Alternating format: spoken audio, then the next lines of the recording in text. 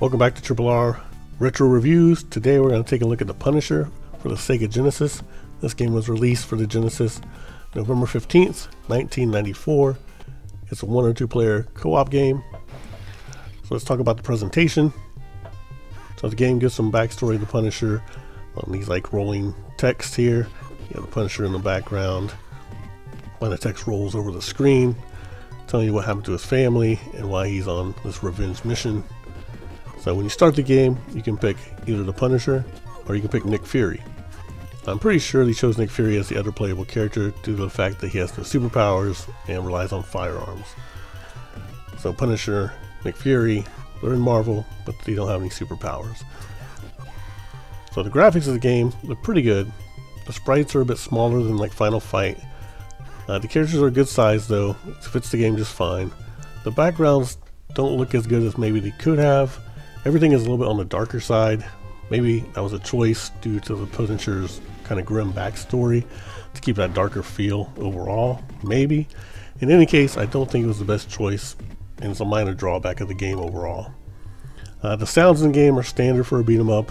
You have your um, punches and kicks, with jump grunts, and you know when people get hit.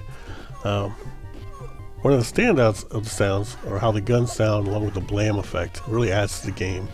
So when you shoot a gun, you'll see a little blam, kind of like the old Batman TV series.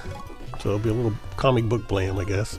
It won't be full screen. But you see a comic blam, and he'll be firing his pistol, among other stuff.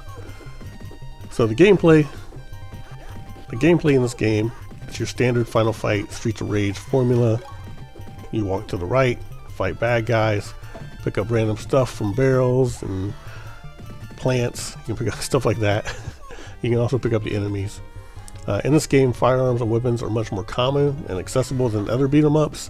Like say in Final Fight, you'll find like a pipe or like the knife guy will drop his knife. I know Cody can carry it, but like usually it's a one and done. Uh, if you drop it, you're gonna might be a little while before you pick up another like 2x4 or the pipe. Uh, this game, like I said, they're way more common.